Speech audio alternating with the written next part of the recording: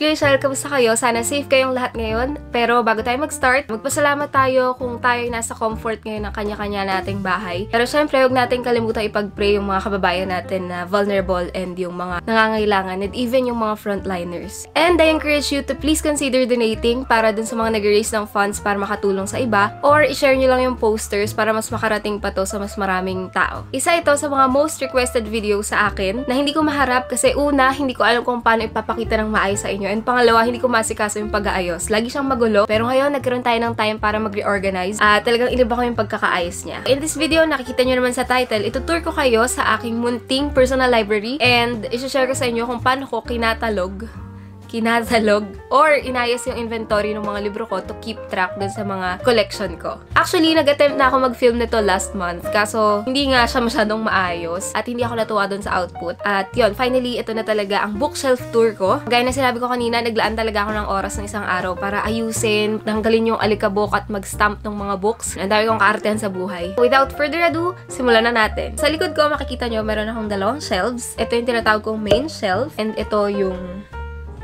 isang shelf. So, yan.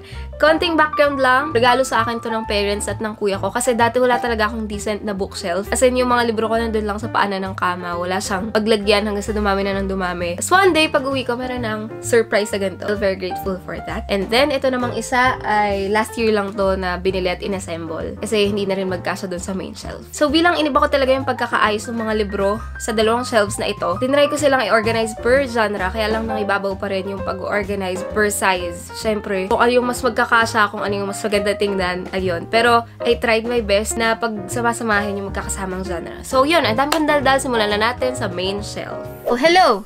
Nag-take over na si Kuya sa camera para mas mapakita natin ng maayos yung libro. Simulan natin dito sa first layer ng main shelf. So, let's go, let's go, let's go. Kung makikita nyo to, yan. Medyo magkakasize kasi yung mga YA and contemporary na books. So, dyan ko sila nilagay. So, siningintan ko dito ng iba pang mga libro na magkakasya dyan. And nandito rin yung The Secret series ko na nakasil pa na nabili ko sa National Bookstore Sale.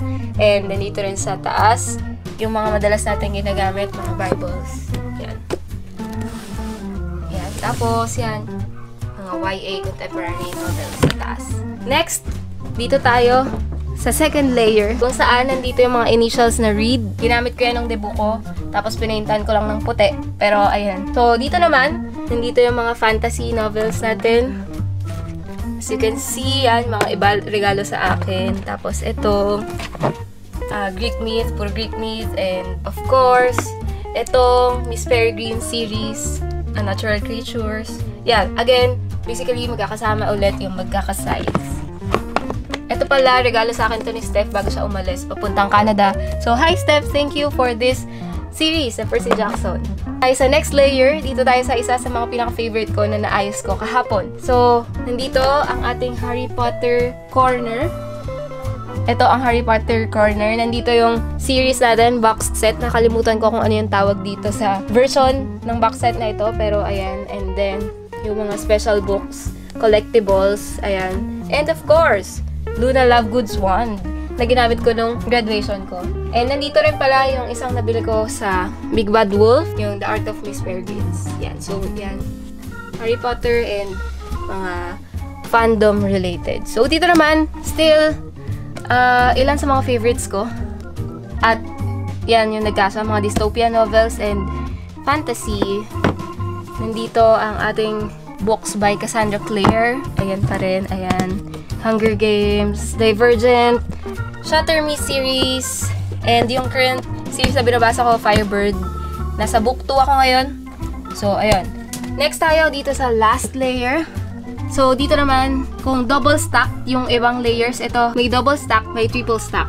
So, nandito yung corner natin ng mga spiritual and mga inspirational. Nandito yung mga local books. Ito, isa sa mga favorite ko. Bagay tayo pati itong 56 ni Bob Ong and some other Bob Ong books. Sherlock Holmes, and yan. Mga ibang libro pa. Ito yung sinasabi ng triple stack. Stack number 1, number 2, and number 3 doon. Hindi na natin kakalkalin pa yan, pero nandyan yung mga maliliit na libro. At saka pupo.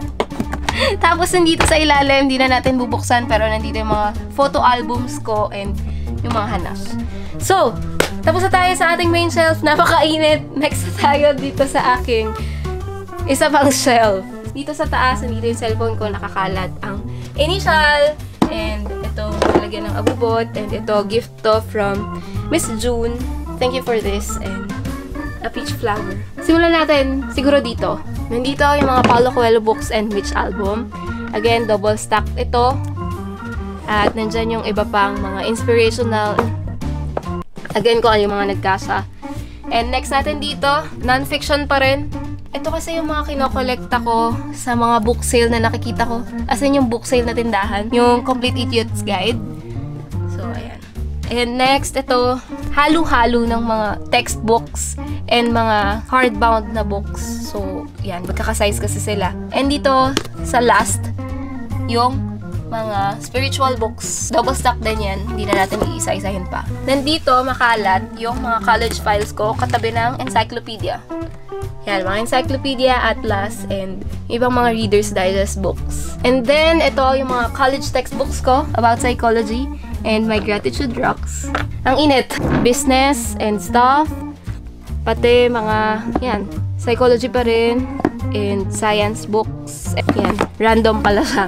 Mga magkakasize. And then, dito, mga psychology books din. Self-help. Yan. Double stack pa rin yan. Ayan. Hindi ko na rin iisa-isahin pa yan. Yan, kung ano yung nagkasa. So, may fiction dyan. Meron ding hindi fiction. So, last but not the least, Land of Stories. At yung iba pang mga pambata na. So, yun. Thank you, kuya. Pawis na pawis ka. Init. Pawis na pawis. Pag-usapan naman natin yung inventory ng mga libro ko. So, bilang isang book lover and collector, gusto ko magkaroon ng listahan kung ano na yung mga meron ako sa bookshelves ko. I remember a few years ago, gumawa ako ng mano-mano na inventory sa Excel yon. As in, tinype ko isa-isa yung title, author, yung publisher, yung number of pages, mga personal remarks, gano'n. Kaso, obviously, napakamatrabaho niya. So, hindi ko na siya na-update. Ngayon, finally, nagkaroon tayo ng time. Kaya, nag-search ako, baka naman merong application na mas madali yung paglilista ng mga libro or baka hindi masyadong matrabaho trabaho. And may share ako sa inyo tatlong applications. Lahat ito pwede sa PC, pwede rin sa phone. Naka-Android ako. Share ko lang. Hindi ko pa masyadong nakalikot itong tatlong to. Pero if gusto niyo ng in-depth na review nito, comment lang kayo. Nakakatulong to para sa mga book lovers and collectors like me. Number one is Goodreads. So, high school pa lang ako, meron akong account sa Goodreads. Kasi dito ko chine-check yung reviews ng libro bago ko bilhin. Or kung may gusto akong simulan, chine-check ko muna doon. And basically, para siyang social media para sa mga bookworms. So, pwede ka mag-add ng friend doon, pwede ka mag-leave ng reviews about dun sa mga nabasa mong libro, pwede ka mag-rate. Hindi ko alam kung kailan pa na-update ito. Pero recently, na-discover ko yung feature niya na makakapag-scan nung front ng book or yung barcode para makita yung reviews and yung plot. Nagamit ko rin siya sa Big Bad Wolf recently.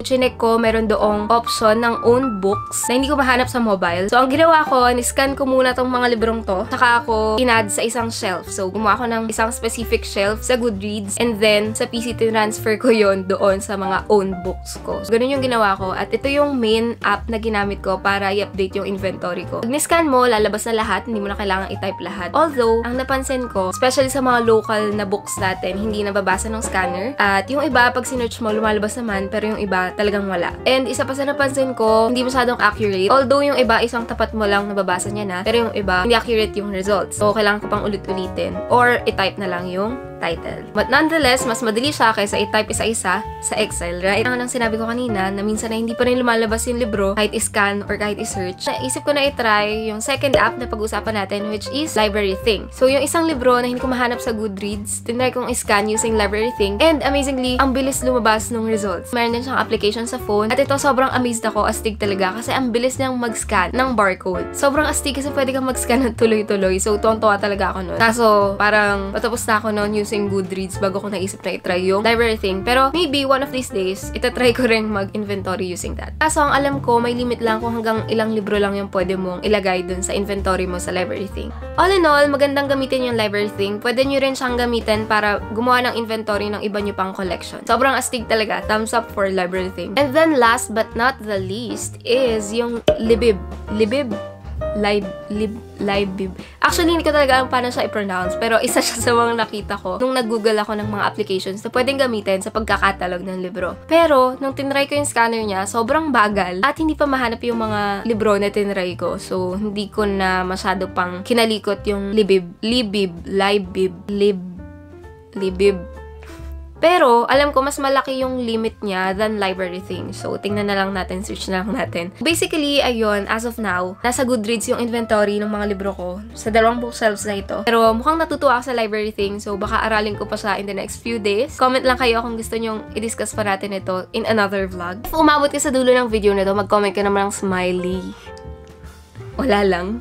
Muli, maraming salamat sa panonood. Mag-comment lang kayo. Gusto kayong makakwentuhan. And let's be friends. Stay connected sa Facebook and sa Instagram. Yung links dyan, nandyan sa baba. Let's maximize our time. Rediscover things that we loved before na medyo natabunan ng kabisihan ng buhay. Like for me, yung pagbabasa. Nagkaroon na rin ako ng time to keep up dun sa sobrang haba or sobrang taas na to be read pile ko. And yun, iba-iba naman tayo ng mga hilig. So, eat healthy, maintain proper hygiene, rest, and palakasin ng mga katawan. Stay indoors if you can. And para sa mga bayani nating frontliners. Saludo po ako sa inyo. Maraming salamat. Pray natin ang victory over COVID-19. And bago pa sobrang humaba yung video na to, maraming salamat sa panonood. Of course, like, comment, and subscribe. Thank you for watching and God bless us all. Bye!